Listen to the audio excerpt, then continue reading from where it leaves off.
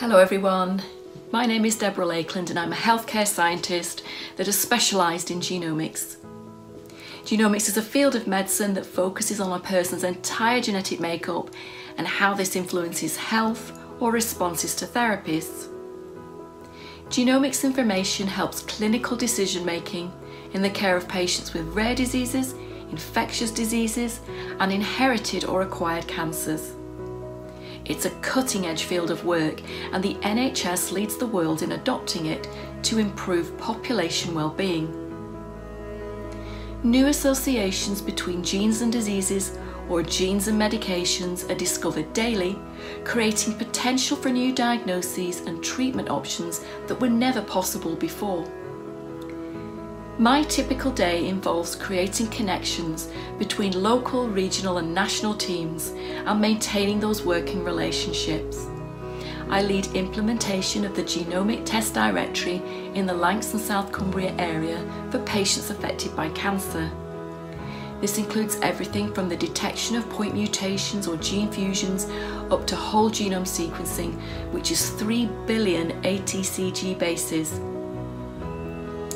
I'm also leading a project to identify individuals and their blood relatives with a cancer predisposition syndrome so that they may be tested and monitored at the earliest opportunity. My role helps to design pathways by which patients access this state-of-the-art testing and educating the professionals that request genome analysis or process the tumour tissues for genetic sequencing. Sometimes I'm asked to speak at events sharing my specialist knowledge and expertise with others, inspiring them to learn about genomics too.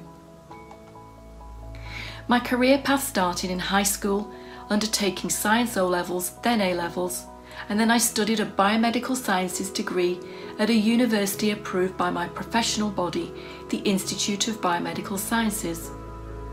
More recently, I've completed a master's degree in genomic medicine.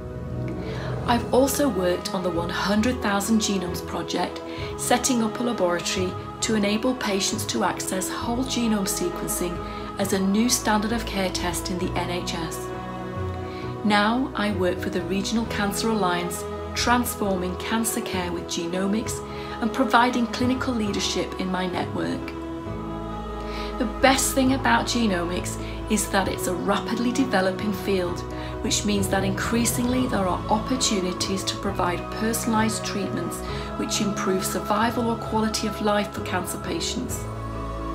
Genomic analysis now gives clinicians access to information that can alter how they would manage a patient, sometimes providing hope for cases where previously there was little or none.